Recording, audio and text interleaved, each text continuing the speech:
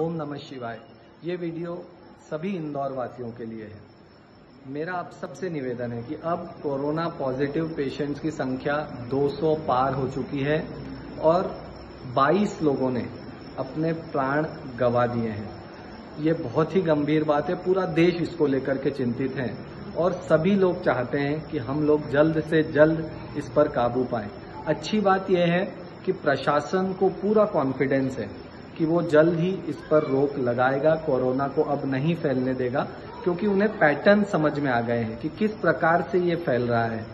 मगर उनका भी हम सबसे यही निवेदन है कि हम लोग अपने घरों में रहें।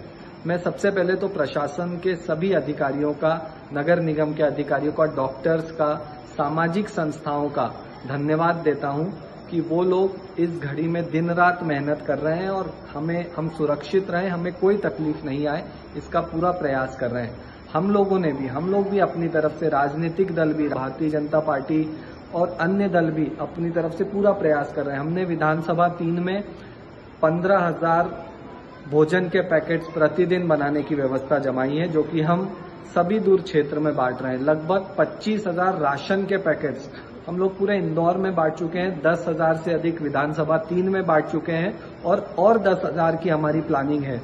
कैलाश विजयवर्गीय जी जैसे लोग तो इससे भी ज़्यादा सोच रहे हैं। बच्चे घरों से नहीं निकले, इसलिए बच्चों के लिए उन्होंने पचास हज़ार से भी ज़्यादा केक्स बुलवाए हैं। अभी हम लोग विधानसभा तीन में उसका वितरण करने वाले हैं।